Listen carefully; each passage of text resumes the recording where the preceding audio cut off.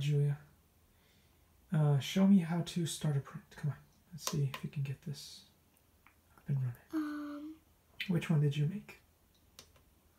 heart ring two, I think. Yeah, that's the one, right? Because it has more than one ring on it. Yeah. And now all you have to do is press, nope. There we go. That's all you got to do. Well done. You successfully started a print. Yay! And I'm only seven years old, turning eight years old in about um when it turn when it becomes November twenty second. Then of course I'm gonna turn eight. Cool. And you built your own ring in what software? and um Tinkercad. All right. See you guys in the next video. Yay!